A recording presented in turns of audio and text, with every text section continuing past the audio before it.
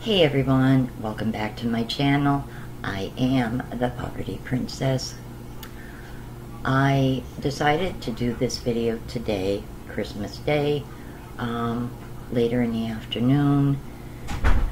I guess because I'm sort of cheering myself up by doing it, I guess you could say. Um, my holiday didn't exactly turn out the way I had hoped. And um, I don't know. I guess I just wanted to share with you guys some wonderful memories that I had from many years ago of Christmases past. I was born in 64, as many of you know, and I grew up during the late 70s, early 80s. It was a wonderful time to grow up. The music was amazing. Life was easier, I think. Everything was just so much cheaper. I remember my grandmother paying like $65 a month rent. $65 a month rent. Can you believe that? And having an electric bill of like $7. yeah, right? Wish we could have that kind of perk now. No luck. The holidays in my town, and it was a smaller city than what it is now, was so different than holidays now. We didn't have Walmart. We didn't have big chain stores in my town. We had small strip malls, but we didn't have a big mall. We had a Christie's in the downtown area. We didn't have Kmart. A lot of the shopping was done in the little strip malls. It was done downtown. And our local economy thrived because of that. I remember milk being delivered in glass jars, glass bottles, and a silver can that used to be outside of each apartment I remember all kind of wonderful TV specials that would be on during the holidays, like right after Thanksgiving, they would start playing them on TV, ABC and CBS, NBC, all the animated movies, Rudolph the Red-Nosed Reindeer, Frosty the Snowman, Santa Claus is Coming to Town, Island of the Misfit Toys. I remember a lot of different like TV shows would have like Christmas specials. Um, and it was nice. TV time was family time. Holidays were family time. If you didn't have everything you needed by December 24th, 12 noon, you were pretty much out of luck because everything shut down. Stores were closed. As far as I know, restaurants were closed, obviously hospitals were open. Um, I don't know about bars, but I think even bars were closed then too. Essentially, holidays were about family. Thanksgiving, Christmas, Easter was all about family. I remember when I was going to um, uh, a church that I went to for many years, I was born and raised Protestant. And they used to have sign-ups to go Christmas caroling. Believe it or not. And they used to go to like um, nursing homes and try to cheer, you know, people up in nursing homes. Um, they would go door to door. So one year I decided to do it just, just for something different, for the heck of it. And I was like about 14. It was actually fun. Um, it was really cold out, but it was it was fun, and we were able to go back to the church afterwards and have some hot cocoa and some snacks, and was it was good. It was fun, nice. I remember when I was about 15, it had snowed so bad a few days before Christmas. I literally was sitting on like a three foot high snowbank there was kids had come through from another patch town um, outside of Hazleton on snowmobiles. I wanted to go for a ride on it. I thought it was cool. And their family had made like a bunch of cookies and hot cocoa. And they were just bringing kids back and forth, these two brothers on snowmobiles. It was really cool. I remember my mother looking out the window, I'm gone, wondering where I got to. She thought I went with one of my friends, and I came back about an hour and a half later and said to her, no, I went for a ride in a snowmobile. My mother was like, what? you know, horrified. But, yeah. Um, holidays were just so different. Holidays meant spending time with your family. It didn't mean working and making money for some big box chain store. It wasn't like that. Holidays were so different back then. And now, I mean, like, I feel, I feel bad because the holidays have changed so, so much. The world has changed too. But holidays have changed so, so much.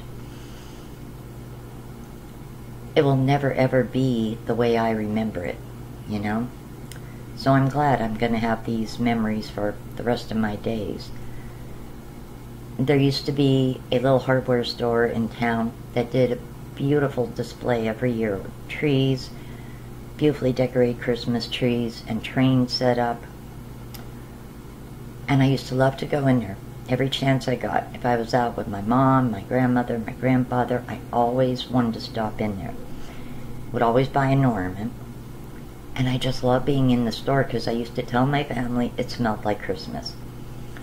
You might think, well, what does Christmas smell like to a kid? Well, to me, at the time, it was bayberry and hollyberry candles. It was the pine scent for the artificial trees.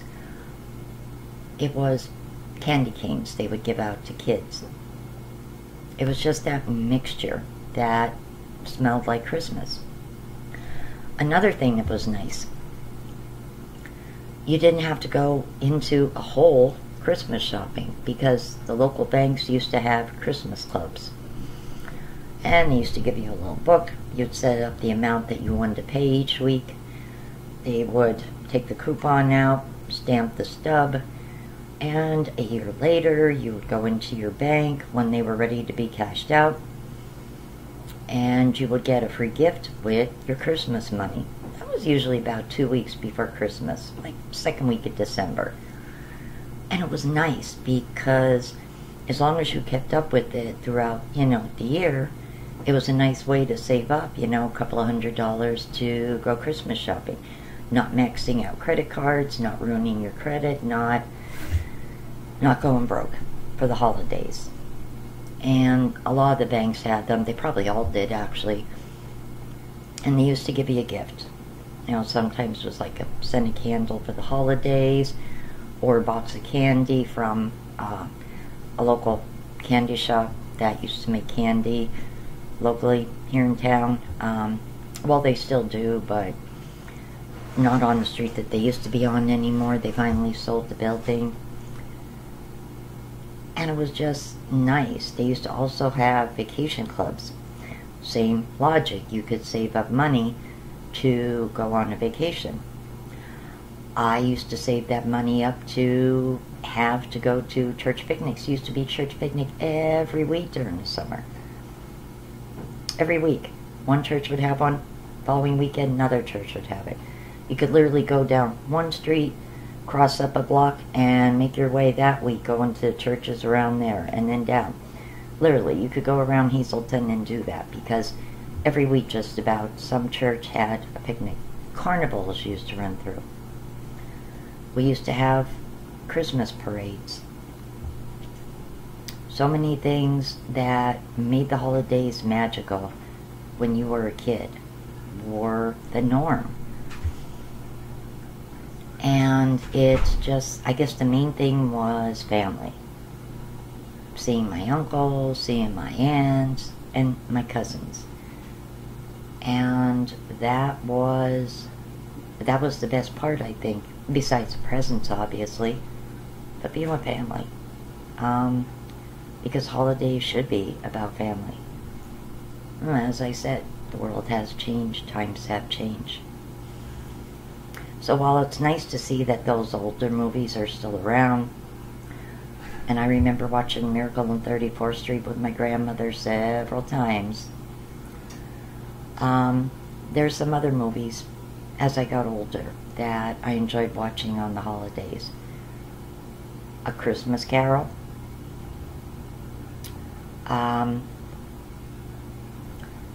I could not help but fall in love with Jim Carrey as the Grinch. I mean, he was amazing.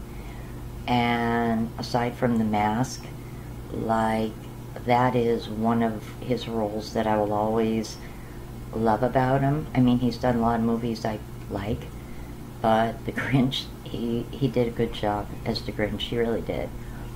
I remember my oldest son really liked The Grinch. And that Christmas, I got him everything Grinch I could find. I got him the movie. I got him um, boxers. I got him a shirt. I got him a pair of pajama pants. Anything I could find Grinch that year for him for Christmas, I did. Socks. I think I got him Grinch socks too. And I remember watching, um, I guess they were Hallmark or Life, no, it was probably Lifetime movies. Um, back in the day when I did have cable, a lot of wonderful um, holiday movies. Movies that you actually could sit with your family and watch as a family. Over time, um, some newer movies have come out that I identify with the holidays. And uh, one of them, and you may recognize it, is um, Jingle All the Way. Not the second one with Larry the Cable Guy, but the first one with Arnold Schwarzenegger is absolutely hilarious. Um, Arnold Schwarzenegger was funny to no end in that movie. That is a good movie. Uh, another one that I enjoy that came out more recently, Polar Express. Polar Express is a beautiful holiday movie. And most recently, one that I discovered last year that I love, and surprisingly, the person playing Santa does a really good job. Um, Kurt Russell, Christmas Chronicles, and that is on Netflix right now.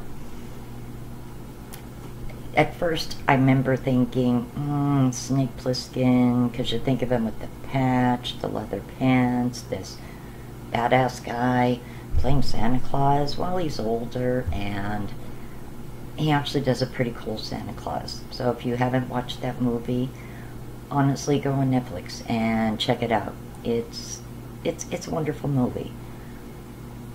It's about losing your spirit, but getting it back.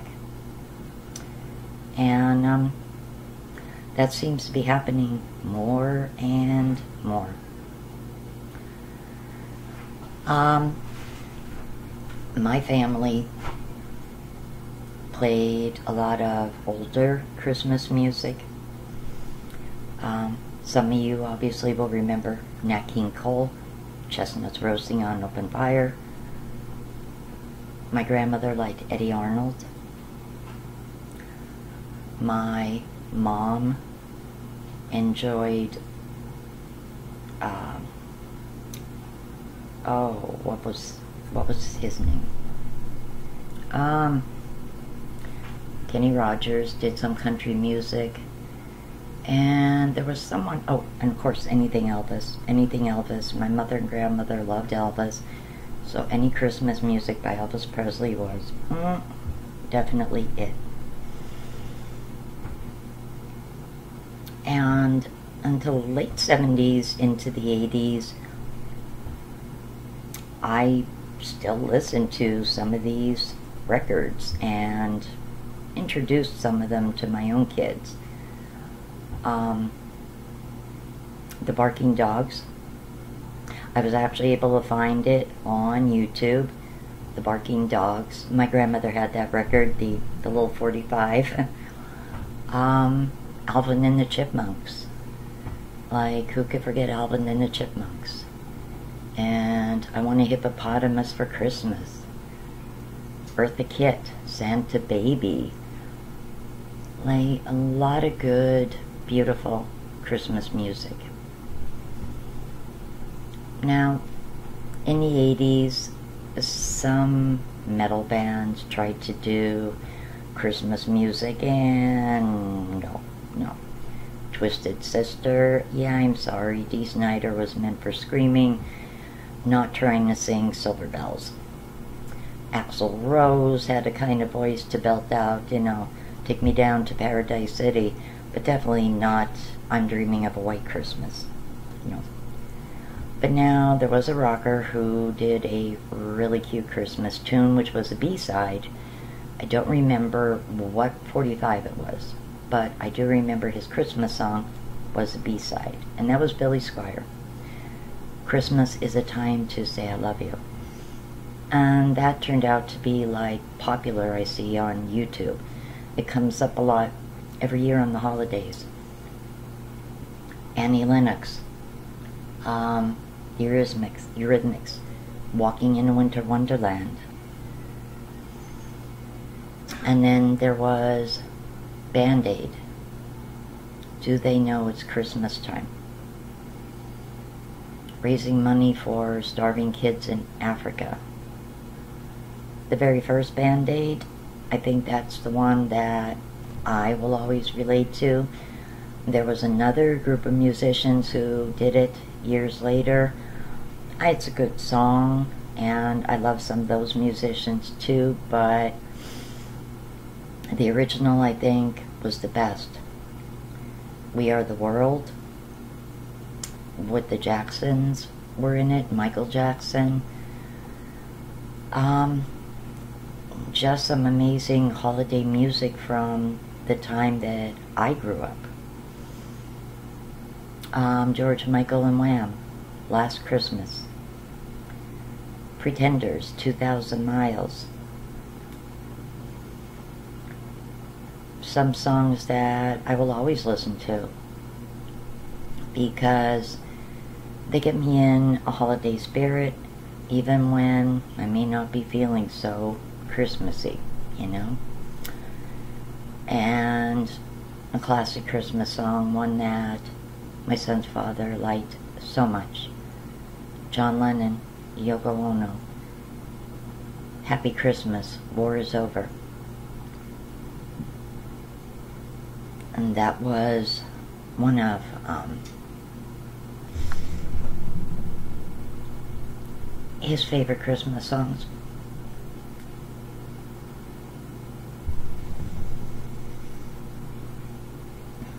Sorry about that, guys.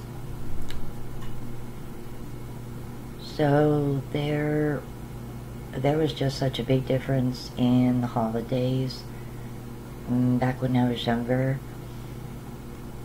And um, it wasn't even about the gifts. Sure, it was great to show your presents off to your cousins and, you know, to your family. And let the adults do their thing. And my grandma and her wicked eggnog, which I never got the recipe for, sad to say.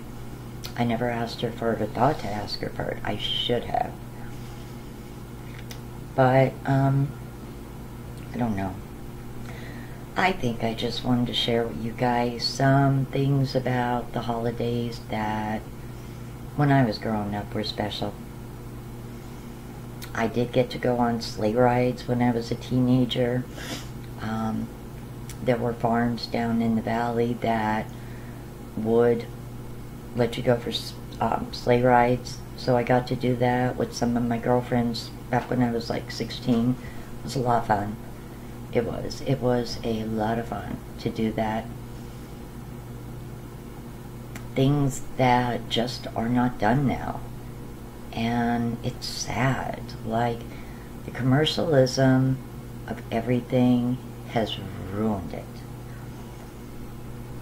I mean, when I was in Dollar General um, yesterday to get my phone, I did get a new phone because I need a number to apply for a job. Um, they already have Valentine's Day stuff out. Like, are you kidding me? God, Christmas isn't even over. You already have Valentine's Day. Like, everything about the dollar, the dollar, the dollar. Not the dollar for you, the dollar for them. And it's just, I don't know, it's just sad, you know? I didn't have um, an exchange this year of presents because I just, I couldn't afford it. And that did bother me, but it is what it is, you know? And I think of Christmases where, you know, I had so much more and could do so much more.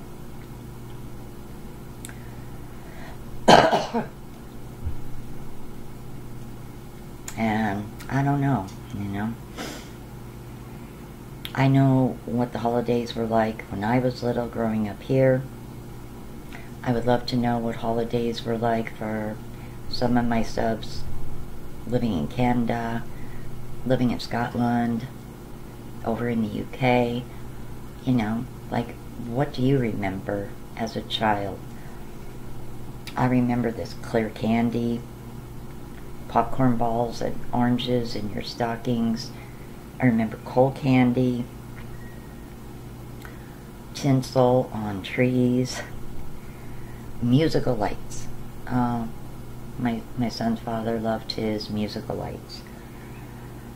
Only problem is mm, they weren't always matching music, meaning we would get live trees and the lights on the top part of the tree would be playing one tune and the lights on the other end of the tree would be playing another tune and connected.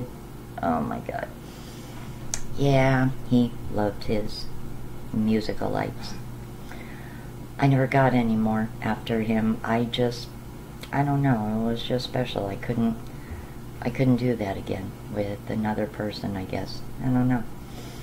A special memory, you know? I know that once my grandmother passed away and my grandfather, it seemed that the holidays took a much different turn. Well, with everybody going their own way, having their own families, my cousins and that, I mean, yeah, it's understandable.